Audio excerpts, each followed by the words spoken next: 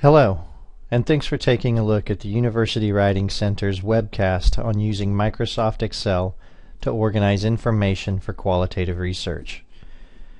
You probably already know there is software designed specifically for qualitative research, but it is often expensive and not widely accessible. Excel, on the other hand, is relatively inexpensive and is available on nearly any computer you can find. So let's get started. This is the sample spreadsheet we'll be working with today. I've already done basic formatting, such as making the header row bold and centering certain columns. If you're not sure how to do these things, you can find the information in a variety of books offering tutorials at Microsoft's website or on other online resources such as YouTube. This spreadsheet is fairly simple and is only meant to give you an idea of how you might set up your own sheet. Include any column headings that will be useful to you. However, I would like you to notice the first two columns, labeled source number and note number, as well as the last two columns, labeled category 1 and category 2. You should always include these columns in your spreadsheet for reasons we'll discuss in a moment. Once you have your column headings established, it's time to populate your spreadsheet. The first source you use will be assigned the number 1, and the first note for that source will also be assigned the number 1. Enter the bibliographic information you want for your first note, as well as the note itself. Then go to the Category 1 column. This is where you'll begin to make sense of your data. Enter a classification you believe applies to the note.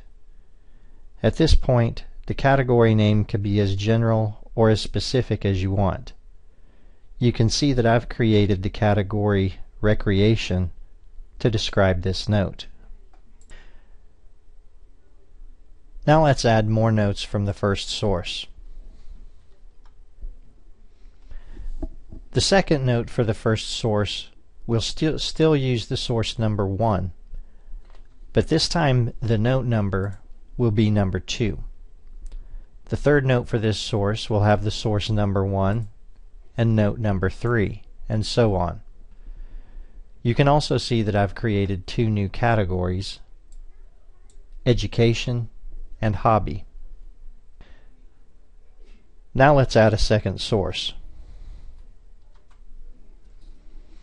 You will notice that the source number is now 2 and I have started over with note number 1. You can also see that I've reused one of the categories I established for the first source since this seems like a similar piece of data. The second note for this source will have a source number of 2 and a note number of 2 and so on. Your next source will have a source number 3 and the note numbers will begin again at number 1. So let's go ahead and finish entering data for this spreadsheet. It may seem that adding source and note numbers is simply extra work, but by taking this step, each note will have a unique source number plus note number combination. Once you start manipulating and organizing the data on your spreadsheet, the information can begin to look scattered or confusing. You will be able to use those unique combinations to put your notes back in their original order, regardless of how you've moved them around.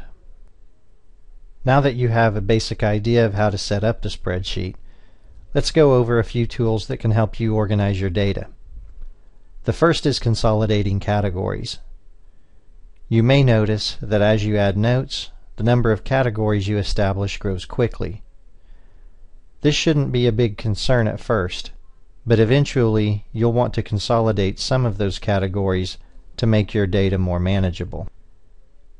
Looking at the categories I've established for this sheet, there are a few that seem closely related.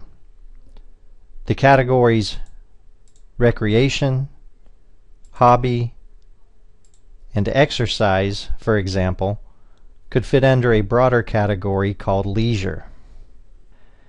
To consolidate these categories, simply shift those original categories right into the Category 2 column and replace them in the Category 1 column with the broader category of leisure. Your categories will always be most general in Category 1 and get more specific as the category number increases. You can consolidate as many or as few categories as you want, and notes can be categorized in various ways.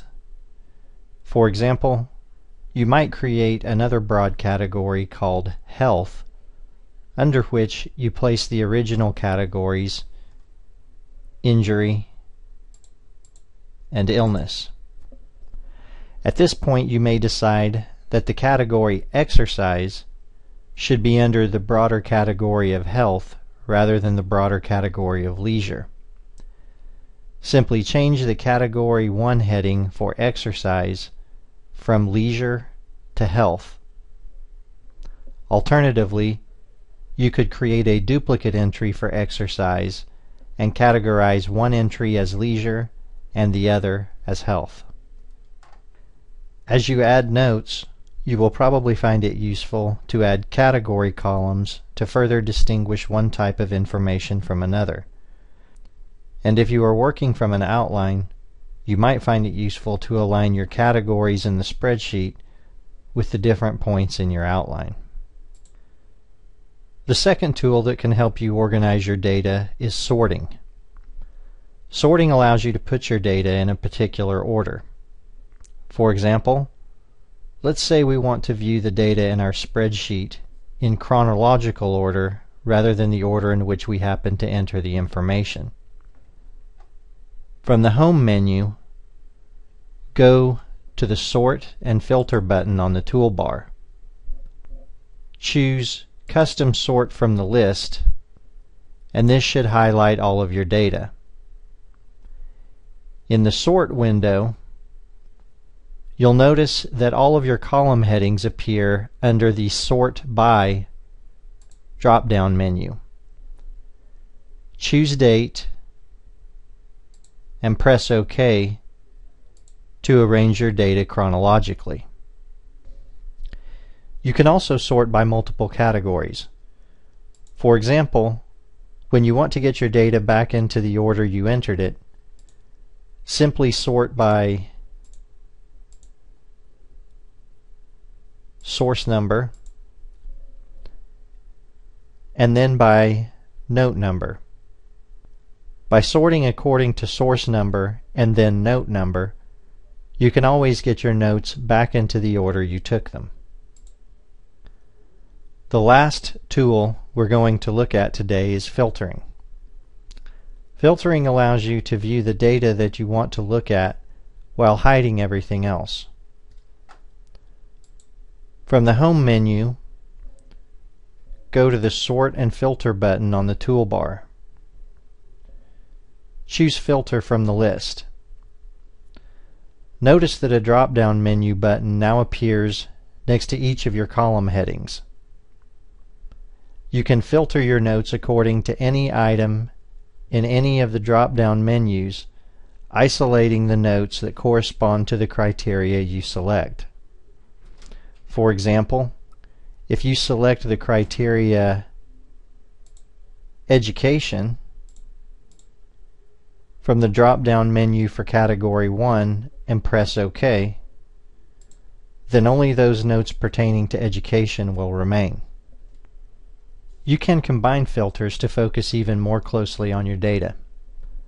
For example, while keeping the Education filter active, you can select College Station from the drop-down menu in the Place column.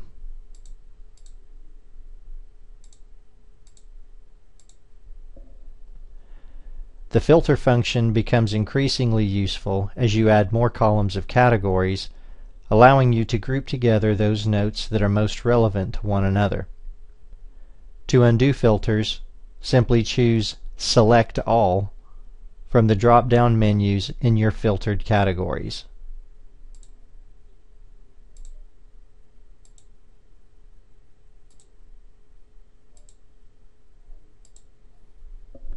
So those are the basics for using an Excel spreadsheet to organize your qualitative research notes.